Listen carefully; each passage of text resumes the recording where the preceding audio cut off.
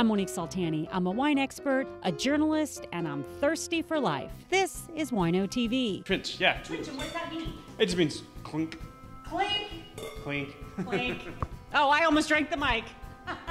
it's happened before. Where culture and agriculture come together.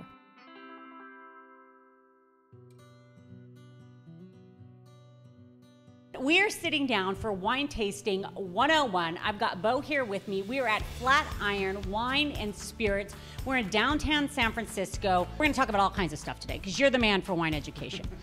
But um, why should someone order a wine by the glass? because it allows people to try new things and experience new things without committing to getting a full bottle of wine. So if we have, you know, 4,000 different bottles of wine in there, people walk around and go, this is a lot of wine. I've never seen a lot of these different wines. What do they taste like? Well, they can come in here to the wine bar and they can see 20 or so selections that kind of, you know, mimic on a micro scale what we have in the shop and taste different things.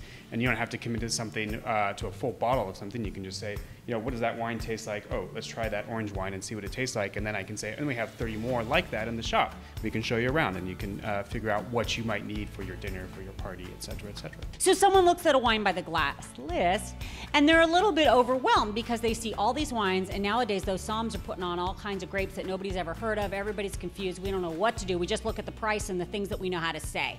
What are some advice for people that are, are new wine drinkers but they do want to venture out of their comfort zone and try something a little different? Sure. Well, I mean, the biggest advice I think would be to trust the uh, the sommelier or the uh, the person that's that, that's helping you, that's serving you, whether it's here at, at, at, our, at our shop or in our wine bar or at any restaurant. Um, you know, there's a, there's a, there's a high uh, level of quality and of um, training out there for these people now, and they're able to, to kind of guide you through. I think that's the best way to start is to just tell somebody really, and don't you don't need to to, to feel you know embarrassed or anything about. It. Just say, hey. I don't know a ton about wine, but here's what I think I like. What would you recommend? A good wine list by the glass should have stuff that people are familiar with and comfortable with, and then some kind of you know, out there things that people maybe are less familiar with so that they can say, oh, I know that Chardonnay or that Cabernet. Um, and then what is, you know, what is this, you know, this kind of weird rosé that I've never heard of, or what is this um, Nerello, Mascalese or Nebbiolo? You know, they, they can see different things on there, but they can see a few things that they're familiar with. And one of the things, Beau, that I love about uh, ordering by the glass is sometimes when it comes to food, uh, you have a bunch of different items of food, and not every glass is going to uh, pair, every wine is going to pair with that food. And you guys do offer some food here at Flatiron. The folks over at the Palace Hotel, because that's where we are here in downtown San Francisco, right near the Palace Hotel, they actually have food that I believe the chef is going to bring some in for us right now. You put those truffle fries right here. Can you pair truffle fries with one of these wines on our table? I can pair with several of the wines on the table. But Really? Let's start with the one that's in our glass right here, because I think this is a, a really fun pairing. I mean, now truffle is obviously a pretty poignant uh, aromatic um, component to any dish, but what you're going to usually compare that with, and in a lot of cases, is something that's also got some interesting aromatic qualities. And then you can have French fries, which are, you know, they're fried, so They're bit- the best. yeah, and they're awesome. They're a little fat, and this they, they make this, this this lovely little kind of béarnaise sauce here that's delicious.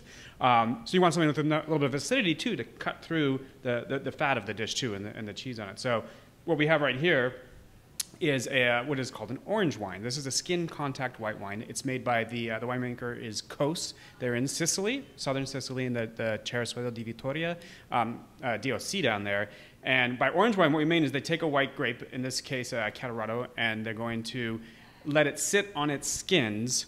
Um, as opposed to pressing it away from the skins right away, like most white wines are, so you get more color and you get a little bit more texture to the wine. It's a category that's kind of caught on with a lot of people that maybe don't want to just drink a light, crisp white wine. They don't want a red wine, and they have something to eat that they're not sure which way to go. Um, and it's also just kind of uh, a new and different experience. So people are getting really into them. And so we have this one. The, again, it's the Cos. Uh, uh, it's called Rami. Um, it's also interesting about this wine is that they make it in amphor. So these giant old clay um, containers, the kind of way that would have made wine back in the Roman times too. Wow. And I love that you said a wine that I actually know how to pronounce, the grape, uh, Catarratto. Yes, see, I've been to Sicily. So, an orange wine, and here in San Francisco, we like to think of this as the Giants wine, and it's baseball season right now. Wow. So, now should I just eat a fry and pair it, just like for the perfect pairing? Go for it. Do you know, I always wonder about this. When you're doing a food and wine pairing, do you take the wine and then the food, or the food and then the wine?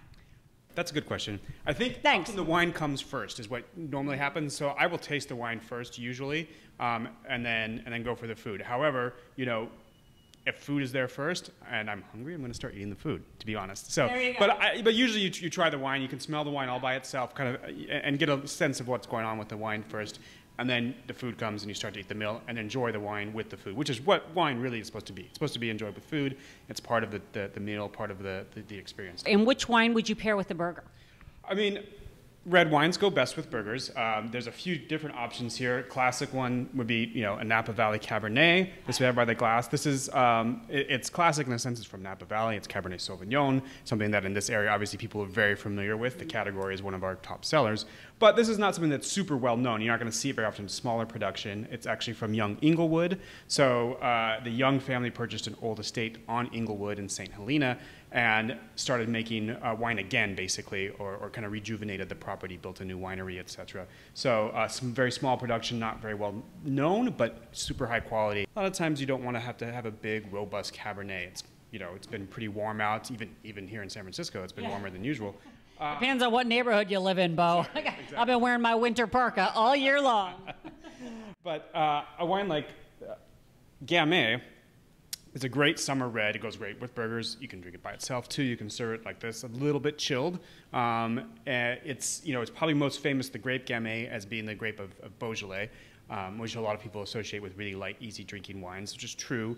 There's Cru Beaujolais, which are step-up wines there, which are actually excellent, excellent food pairing wines for all kinds of grilled meats and any kind of any kind of barbecue, any kind of summer food that you're, you're talking about. They go great. people see wines by the glass on the list, they wonder um, two things. So this is like the hard hitting questions here, Beau. They wonder one, is it more marked up than if you buy a bottle? Like, is it more expensive to buy four glasses by the glass or one bottle, or is it the same?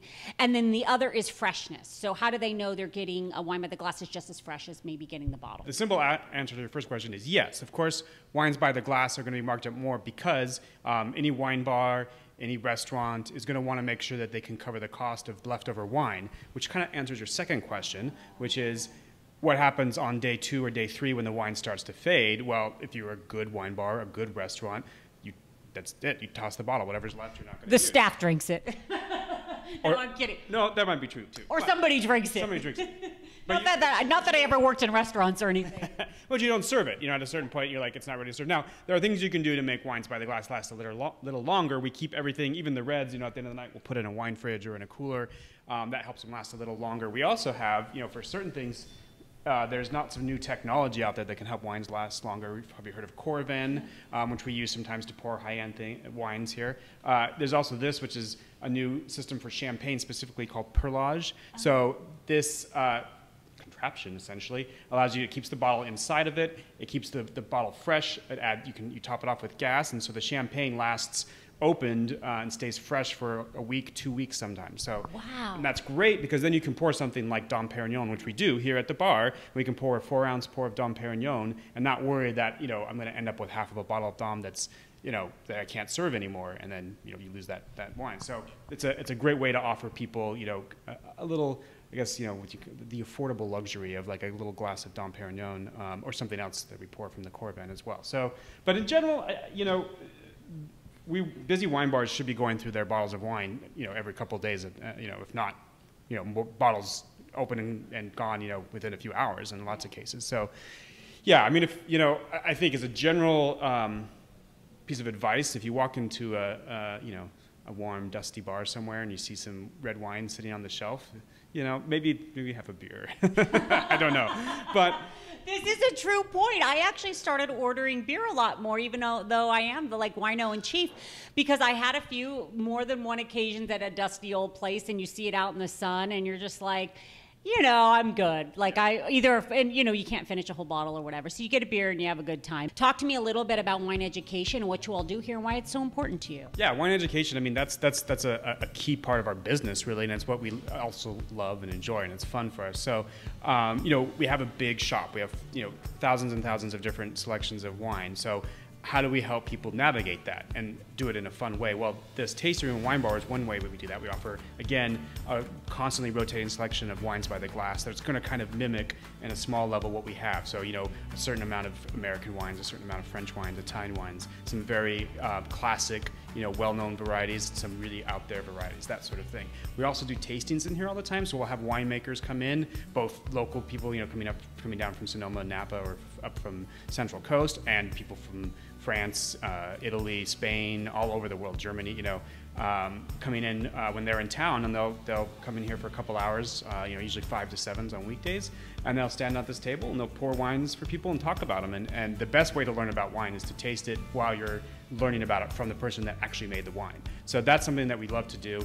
We also we have a downstairs uh, tasting room that we use for for seminars, classes, kind of more focused tastings. We could do like wine 101 with you once a week, and we it would never get old because you have so much great information, so much fantastic wine.